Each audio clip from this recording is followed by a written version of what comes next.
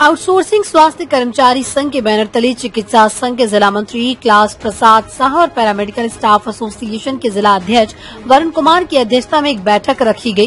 पुरानी सदर अस्पताल दुमका में विभिन्न प्रखंडों से आए हुए स्वास्थ्य कर्मी तथा सफ़ाई कर्मी ने अपनी विभिन्न समस्याओं को संगठन के समक्ष रखा और निष्कर्ष निकाला गया कि दुर्गा पूजा के बाद सिविल सर्जन और उपायुक्त दुमका को ज्ञापन सौंपा जाएगा।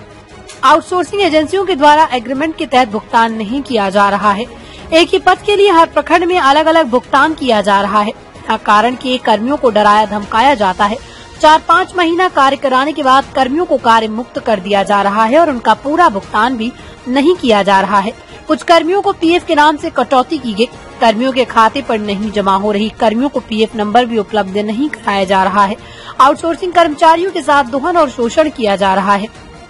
जो अपराध से काम नहीं है बैठक में मीडिया प्रभारी सचिदानंद सोरेन, कोषाध्यक्ष शैलेंद्र कुमार, जामा प्रखंड मंत्री मनमोहन कुमार, लालिमा कुमारी, स्नेहलता यादव आउटसोर्सिंग स्वास्थ्य कर्मचारी संघ के कोषाध्यक्ष संतोष शाह राजीव कुमार, तारा लायक, अंशुमान मजूमदार, चंदन कुमार, अशोक कुमार, नुपुर रानी, सोरेन, अनिता टुडू, रोजलीन, सरिता टुडू, गौरव कुमार, गुड़िया कुमारी, अलविना हाजदार राजीव गोरी जसीम आज़ाद, ममता मुर्मू समेत कई कर्मचारी उपस्थित थे।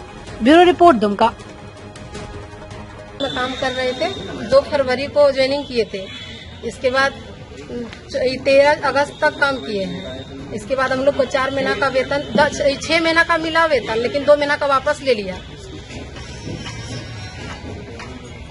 क्यों वापस लिया? क्या कहा गया? कुछ नहीं कहा गया। ऐसे ही खाता से बिना हमको कुछ पता भी नहीं था और खाता से ही कट गया था। ले लिया था वापस कंपनी। फिर कंप्लेन नहीं किए मेरा पैसा कहाँ गया? नहीं कंप्लेन तो नहीं किसी कंप्लेन किया सुनाया नहीं कुछ हुआ हाँ डीसी को तो एक बार कंप्लेन किए हैं कि हमको हटा हटाया गया है तो कुछ अभी तक नहीं हुआ क्या नाम है? चार महीना का वेतन मिला है दो महीना ढाई महीना का बाकी है। लालिमा कुमारी है एम आप कहाँ पे काम कर रहे थे? सी एस सी जरमुंडी नाम सौरभ कुमार दत्त है। मैं सी एस सी काठीपुर में कोल्ड चैन में कार्य करता हूँ। मेरा ज्वाइनिंग दिसंबर में हुआ है पंद्रह बारह दो हज़ार बाईस को।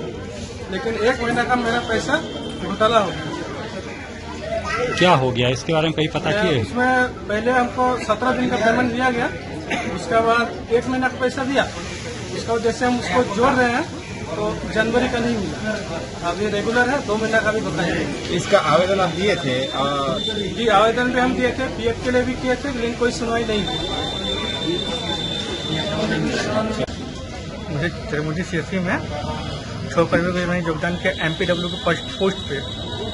मुझे छः महीना काम करवा के चार महीना का वेतन दिया गया है उसके बाद हटा दिया गया है। पूछने में बता देता है कि मानव बल से अधिक बाली है इसलिए हटा दिया गया है। और लेटर बोलता है फर्जी लेटर है।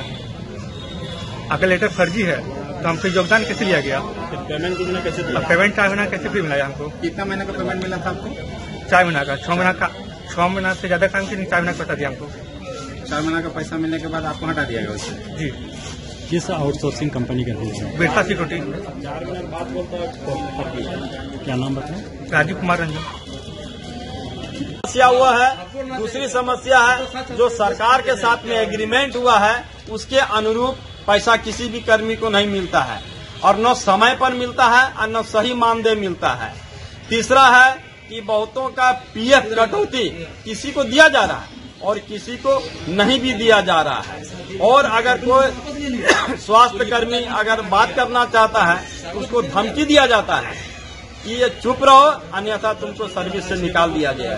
जो कि ये घोर अन्याय है, ऐसा नहीं होना चाहिए। अगर अपना हक के लिए कोई काम काम तो वो सबसे ज़्यादा करती है। उसको अभी सरकार के द्वारा ऊपर से इतना काम दिया गया है, इतना काम दिया गया है कि वो ना चाहते हो कि उसको करना ही पड़े। बहुत सारा टारगेट है। अभी रोज नया नया प्रोग्राम चलता आज मलेरिया है, कल मलेरिया है तो टीबी है तो कुछ तरह तरह का रोज प्रोग्राम चलता है। और सभी एनएम बहने उस पर एकदम तत्पर होकर के अपना फ़ील्ड पर घूमती है, काम करती है। और इस विषय पर अगर वो अपना हक के लिए उसको दो महीना, चार महीना से पेमेंट नहीं मिलता है, अगर मांगने जाता है तो उसको धमकी दिया जाता है। तो इस तरह से ये भूखे पेट और अपने बाल बच्चा को लेकर के कितने दिनों तक इस तरह से काम करेगा। आज क्या रणनीति बना रहे हैं?